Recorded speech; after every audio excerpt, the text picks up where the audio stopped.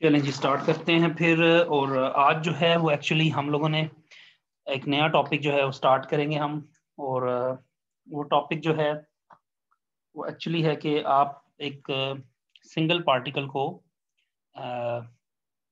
लेकर और उसी क्वांटम मैकेनिकल ट्रीटमेंट करेंगे।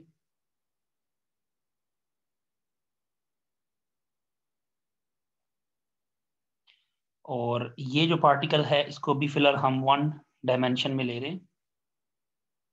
कुछ जो बेसिक फिजिक्स है, वो तो आप लोगों को पता है कि जैसे पार्टिकल इन अ बॉक्स का कॉन्सेप्ट आप लोगों ने पढ़ा हुआ था, ये वैसे ही है जैसे इलेक्ट्रॉन अपने न्यूक्लियस के गिर्द रिवॉल्व करता है और उसकी जो एनर्जीज हैं, वो बाउंड एनर्जी लेवल्स होंगे और उनके ऊपर वो वर्किंग करेगा। तो वो पार्टिकल इन अ बॉक्स के पॉइंट ऑफ़ व्यू से अगर मैं लिखूं तो ये h cut square by two m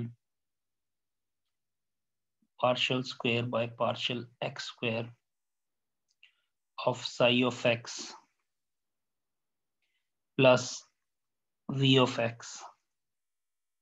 Psi of x is equals to e psi of x. आप लोगों को ये बात तो पता है कि जब हमारे पास दो तरह के बेसिकली पार्टिकल क्वांटम मैकेनिक्स में हम यूज़ करते हैं, एक हमारे पास फ्री पार्टिकल होता है और एक हमारे पास बाउंड पार्टिकल होता है, यानी पार्टिकल इन बॉक्स का कॉन्सेप्ट होता है। इन दोनों में डिफरेंस ये होता है कि जो फ्री पार्टिकल है, इसके पास सिर्फ़ काइनेटिक एनर्जी के तौर पर होगी सी टोटल एनर्जी लेकिन जो बाउंड पार्टिकल है, इसके पास पोटेंशियल भी होता है. ठीक है जी? यानी इसके पास पोटेंशियल की वैल्यू होती है और फ्री पार्टिकल के पास पोटेंशियल नहीं होता, इसीलिए उसको फ्री कहा जाता है, क्योंकि वो किसी पोटेंशियल के ऊपर एक्ट नहीं कर रहा होता.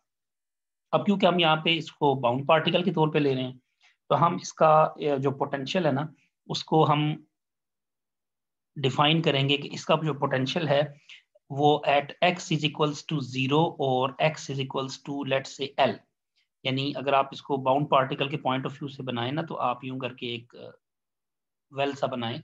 आप फॉर एग्जांपल ये x is equals to zero position है तो ये x is equals to L position है। तो इसके दरमियान इसके ऊपर पोटेंशियल जो है वो एग्जिस्ट कर रहा है, लेकिन इससे बाहर और इन वैल्यूज़ के ऊपर इसकी वैल्यू जो है, यहाँ पर इंफिनिटी की तरफ़ जा रही है।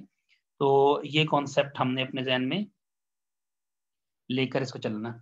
अच्छा अब, अगर आप इसी, इस इक्वेशन का शोडिंगर इस इक्वेशन का आप सोल्यूशन लिखे शोडिंगर इक्वेशन का तो जो इसका सोल्यूशन है, वो कुछ इस तरह से बनेगा कि psi of n of x is equals to a sine of n pi x by L ठीक है जी? अब ये जो एक्स बाई एल इसकी वैल्यू जो आपके पास आ गई है ना इस ए, की वजह से अब आप आपको ना इसमें इस ए की वैल्यू को फाइंड आउट करना है। तो क्योंकि ये कांस्टेंट है तो इसमें एक याद एक बात ध्यान में रखनी है कि यहाँ पर जो आप लोगों ने क्वांटम मैकेनिक्स पढ़ी है ना मैं सिर्फ़ उसको पॉइंट्स में आपको डिस्कस कर रहा हूँ आपके साथ। तो आपने ये याद रखना है कि जो फ़र्स्ट बाउंड्री कंडीशन है ना आप इसको अपनी क्वांटम मैकेनिक्स की बुक में देख भी सकते हैं। वो तो फ़र्स्ट बाउंड्री कंडीशन जो है ना वो वो सेटिस्फाई करती है। ठीक है? लेकिन जो इसकी सेकंड बाउंड्री कंडीशन है, वो आपके पास सेटिस्फाई करती है एक कंडीशन के ऊपर फर्दर ओनली कब ये सेटिस्फाई करेगी?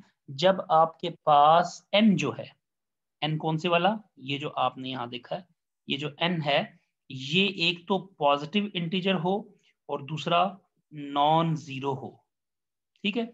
ये दो शराइत अगर ये पूरी करेगा तो उस वक्त फिर आप इसको कहेंगे कि हाँ जी, ये सेकंड कंडीशन भी इसकी फुलफिल करती है। अब इसमें एक बात ये भी होती है कि अगर आपसे कोई बंदा ये कहे कि जी सेकंड कंडीशन क्यों नहीं फ़र्स्ट कंडीशन की तरह हर बगैर किसी अपने ऊपर फर्दर किसी कंडीशन के बगैर कर सकती तो ये याद रखिएगा कि अगर आपके पास एन नेगेटिव हो जाए, ये क्वांटम मैकेनिक्स में आप लोगों ने इसको पढ़ा हुआ होगा, अगर एन नेगेटिव इंटीजर हो जाए तो उस सूरत हाल के अंदर आप फिर यूँ करके लिखेंगे ना कि माइनस एक्स को आप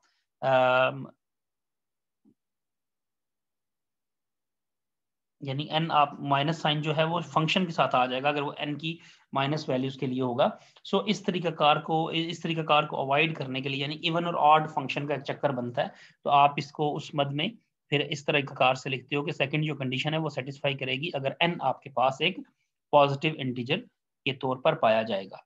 अच्छा अब उसके बाद फिर आपके और क्या करना है कि आप ये देखते हो कि अगर इसकी सोल्यूशन के बाद इसकी एनर्जी आइगन वैल्यूज़ आप लिखो तो आपको याद होगा कि इसकी eigen values h cut square y square n square over two m L square ठीक है? इसको वो हम अपने अल्फाज में अल्फ़ा एन स्क्वेयर भी कह देते हैं। Alpha is h cut square, pi square by two m L square n जो है ना, क्योंकि वो चेंजिंग है एंटेजर है पॉजिटिव और नॉन ज़ीरो तो उसको हमने अलग कर लिया। अब इस अल्फ़ा को अगर बाकी वैल्यूज़ को मैं इन एम एल और पाई वगैरह की वैल्यूज़ को पुट करूँ ना तो जो मेरे पास अल्फ़ा की वैल्यू बनती है, उसको मैं अगर अपनी आसानी के लिए लिख लूँ six point zero let's say ten to power minus thirty four joule और इसके लिए मैंने क्या किया है कि इस इक्वेशन को मैं कैसे, इसके लिए मैंने एल को वन सेंटीमीटर सपोज़ किया है। स्टैंडर्ड वैल्यू के लिए तो उसके हिसाब से जब मैंने इसकी बाकी वैल्यूज़ को पुट किया है तो हमारे पास ये six ten to power minus thirty four आपके पास आंसर आ गया। अच्छा इसको फर्दर मैं अगर एक और एस्पेक्ट में, ये मैं एडिशनल में काम कर रहा हूँ, क्योंकि ये मुझे आगे ज़रूरत पड़ेगा। अल्फ़ा बाई के बी को मैं अगर डिवाइड करूँ तो इसकी वैल्यू जो है four point four ten to the power minus eleven के की वैल्यू में आ जाएगी। और अगर एट 300 कैलवन तो इसका मतलब है कि alpha by A B T तो इसको अगर मैं इस फॉर्म में पुट करूँ तो इसका जो रिज़ल्ट आएगा वो approximately 1.5 ten to the power minus thirteen आएगा। लेकिन इसके लिए आपको याद रखना है कि अगर आप ये आंसर लेना चाहते हो तो इसके लिए आपको एल को माइक्रोन्स में, यानी ten to power minus six में पुट करना पड़ेगा। तब आप इसको लेके आ सकते हो। अदरवाइज़ इसकी वैल्यू जो है वो बहुत स्मॉल आती है। अच्छा अब इसका मतलब ये हुआ कि हमें एल की वैल्यू को, यानी वो जो जिस रीजन के अंदर इलेक्ट्रॉन ने कन्फाइंड होना है, उसको माइक्रोन्स में रखना पड़ेगा माइक्रोमीटर्स के अंदर रखना पड़ेगा, तब हम इस वैल्यू को एग्जिस्ट करवा सकते हैं। चलें जी, अब हम अपने काम की तरफ़ आते हैं, जो हम पिछले प्रीवियस लेक्चर में भी करते रहे हैं, वो था हमारे पास पार्टीशन फ़ंक्शन कि अगर हमने पार्टीशन फ़ंक्शन को लिखना है तो लेट से हम ये कहते हैं कि n start from one one goes towards towards and e to the power minus epsilon uh, e by kbt यानी energy by k B T इसको एप्सिलॉन में बाज़ हम बोल देते हैं। तो ये जो रेजिस्टेंस है इसकी value from one to n आ गई फ्रॉम इन इन्फिनिटी और ये आ जाएगा माइनस आर एन स्क्वेयर अब आपको समझ आ गई होगी कि मैं यहाँ पे alpha by k B T क्यों मैंने किया था और ई e एन को मैंने अल्फ़ा एन स्क्वेयर मैंने क्यों लिखा था। अब यहाँ पे मैंने एक लफ्ज आपके लिए ना गामा यूज़ कर दिया। Gamma stand for alpha by k ये जो था। इसको हम के बी टी से, क्योंकि जब हम इसको डिवाइड करेंगे ना तो इस सारी चीज़ को मैं गामा कह सकता हूँ। ठीक है जी? तो अब ये आपको समझ आ होगा कि ये e by k B T लिखा हुआ है इन टू एन स्क्वेयर ये जो चीज़ थी। ठीक है? अच्छा अब इसी को अगर मैं लिखूं कि जो एटम्स हैं, वो सिर्फ़ ट्रांसलेशनल मोशन कर रहे हैं, क्योंकि आपको मैंने भी समझाया था पिछले लेक्चर में कि ट्रांसलेशनल वाइब्रेशनल रोटेशनल मोड्स भी होते हैं डिग्री ऑफ़ फ्रीडम्स के पॉइंट ऑफ़ व्यू से। तो अगर मैं इसको ट्रांसलेशनल मोड के अंदर लिखूं और मैं इसको यूँ करूँ कि from n one from one to infinity तो e to the power minus r n square और इसको मैं अगर क्योंकि ये कॉन्टीन्यूस फॉर्म में ऑलमोस्ट आ चुका है तो इसको मैं फ्रॉम ज़ीरो टू इन्फिनिटी कर दूँ let's say e to the power minus r n square into d n so इस इंटीग्रल को जब मैं सॉल्व करूँगा तो मेरा ये क्योंकि स्पेशल इंटीग्रल बनता है, और ये स्पेशल इंटीग्रल कुछ इस तरह से होता है कि x square sorry e power minus x square d x अगर आपके पास आ जाए सो so, तो इसका आंसर जो होता है वो पाई बाय टू रह जाता है। अच्छा जी और इसको अगर मैं इसमें आपने याद रखना है कि अल्फ़ा यहाँ पर हम एक्स किसको ले रहे हैं? एक्स को हम लेंगे अंडर रूट आर एन ठीक है जी?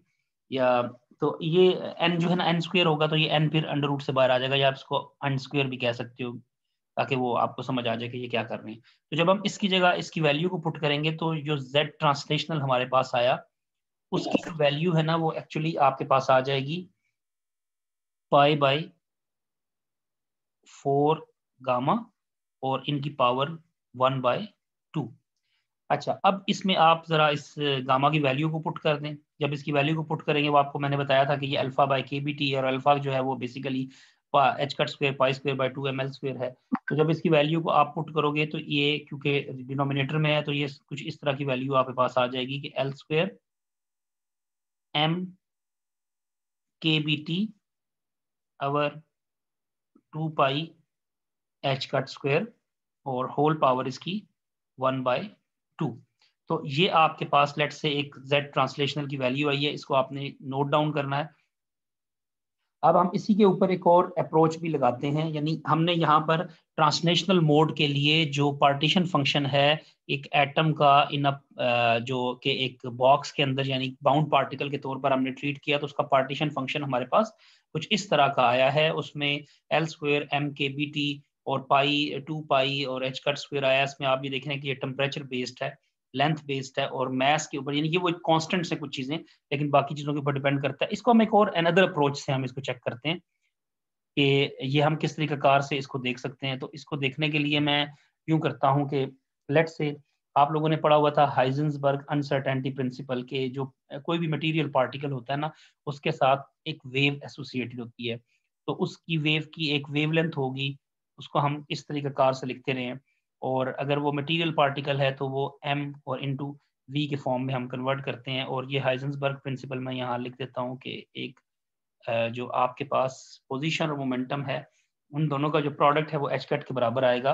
दूसरे वर्ड्स में वो ये आपको समझाने की कोशिश करते हैं कि अगर आप पोजीशन को मालूम कर लें तो मोमेंटम अनसर्टन हो जाएगा। अगर आप माइक्रो लेवल या नैनो लेवल के ऊपर चीज़ों को डिस्कस कर रहे हैं तो इनमें से किसी एक चीज़ के बारे में आप श्योर होंगे, दूसरी चीज़ अनसर्टन हो जाएगी।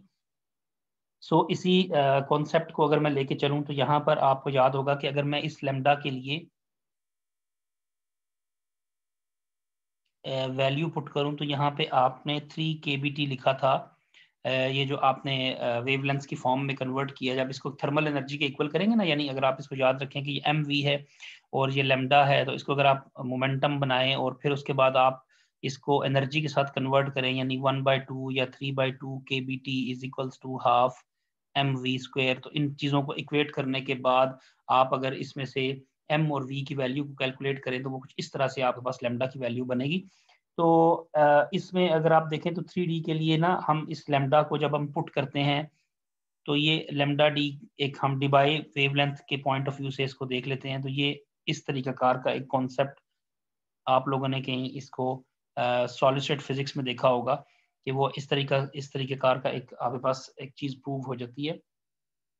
और इसमें अगर हम एच को अप्रोच करवाएँ ज़ीरो को तो आप ये देखेंगे कि आपके पास ये जो लेमडा डी है, ये भी ज़ीरो की तरफ़ अप्रोच करेगा। यानी कि आपके पास जो जी है, यानी पार्टीशन फ़ंक्शन है, वो इनफाइनाइट हो जाएगा, जिसकी कोई सेंस नहीं बनती एक्चुअली तो इसमें हम जो है ना डिफरेंट पैरामीटर्स को मालूम कर सकते हैं। तो ये यहाँ पर आकर हमारे पास ये चीज़ जो है, वो एक किसी मानने की तरफ़ हमें लेके जाती है कि इन वेवलेंथ के साथ ये टेम्परेचर किस तरीके से एसोसिएटेड है और इनके कम या ज़्यादा होने से हमें क्या फ़र्क पता चलेगा या हम इसको किस तरीके कार से मालूम कर सकेंगे।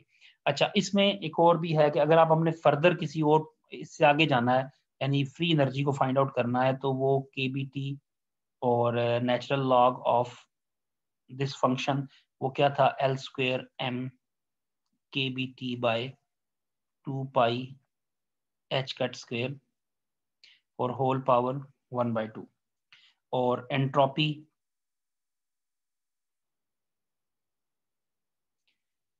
एंट्रोपी का आपको पता है कि वो formula partial f by partial T होता है एट कांस्टेंट वी और साथ एक नेगेटिव साइन इसी तरीके से अगर आप इसमें यहाँ पे फार्मूला ये वाला पुट करके आप इसको मालूम कर सकते हो। और सिमिलरली जब हम आगे बढ़ेंगे तो फाइनली हम specific heat of the system की तरफ़ जाते हैं। जो कि हमारे पास होता है partial s by partial T multiplied by T at constant v तो जब आप इस तक पहुँचेंगे, यहाँ पर इस इस डेरिवेटिव की वैल्यू को रख के, यानी पहले एफ़ मालूम करेंगे और एफ़ के बाद जब आप एस मालूम करेंगे तो एस मालूम करने के बाद जब आप सी वी यानी सेकेंड डेरिवेटिव उसका लेंगे एक्चुअली तो एफ़ का थर्ड डेरिवेटिव होगा, यानी फ़र्स्ट डेरिवेटिव तो ये है, फिर ये सेकेंड डेरिवेटिव यहाँ पे आ गया। तो वो जो आपके पास वैल्यू आएगी, वो कांस्टेंट आ जाएगी और उसकी वैल्यू होगी के बाई बाई टू तो यहाँ से आपको ये पता चलता है कि जो स्पेसिफिक हीट होती है फॉर वन डायमेंशनल एटम जो कि बाउंड पार्टिकल है या जो एक इन अ बॉक्स में है, वो किसके इक्वल आती है? वो specific heat k B by two के इक्वल आती है, जो कि आपको एक कांस्टेंट वैल्यू दे रहा है।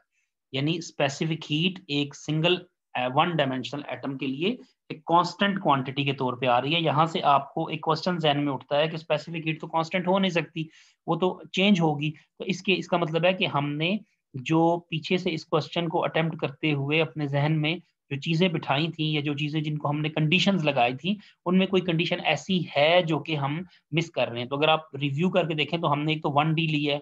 एक्चुअली एटम वन डी में तो होता नहीं है। वो तो थ्री डायमेंशनल में होगा मिनिमम तो ये कंडीशन अब आप अगली दफ़ा चेंज करेंगे। फिर हमने ट्रांसलेशनल मोड में जी ट्रांसलेशनल लिखा है। ठीक है? ट्रांसलेशनल तो नहीं होगा, क्योंकि एटम की हमने बाकी मोशंस को रिस्ट्रिक्ट कर दिया था। अब हम उसे रिस्ट्रिक्ट नहीं करेंगे, बल्कि अब ये करेंगे कि ट्रांसलेशन के साथ रोटेशन और वाइब्रेशन को भी ऐड करेंगे। तो फिर देखेंगे कि क्या स्पेसिफिक हीट की वैल्यू फिर भी कांस्टेंट आती है या नहीं आती। तो वो हमारा है जो अगला टॉपिक है, जो हम नेक्स्ट लेक्चर में देखेंगे। वो है जनाब single particle in three box यानी थ्री डायमेंशनल बॉक्स के अंदर अगर आप सिंगल पार्टिकल को रख के ट्रीट करेंगे तो फिर उसके ऊपर आपको क्या इफ़ेक्ट मिलेगा और फिर उसी के बाद हम देखेंगे कि इस थ्री डायमेंशनल बॉक्स के अंदर अगर हम फर्दर अपनी किसी और चीज़ को ऐड करें और हम ये कहें कि हमारे पास रोटेशन और वाइब्रेशन को भी ऐड किया जाए तो फिर स्पेसिफिक हीट में क्या चेंज आ सकता है। तो ये फिर आप उसके बाद इसको जो है ना आप ये कह सकते हैं कि हम इसको इस तरीका कार को देखते हुए जब कंप्लीट कंडीशन इसके ऊपर लगेंगी तो फिर हमें ये पता चलेगा कि हाँ जी, अब हम ठीक कह रहे हैं और हमारी स्पेसिफिकेट हीट कांस्टेंट नहीं आएगी, बल्कि वो कहीं कुछ पैरामीटर्स के ऊपर डिपेंड करती हुई नज़र आएगी। तो वो फिर हम इसके बाद नेक्स्ट लेक्चर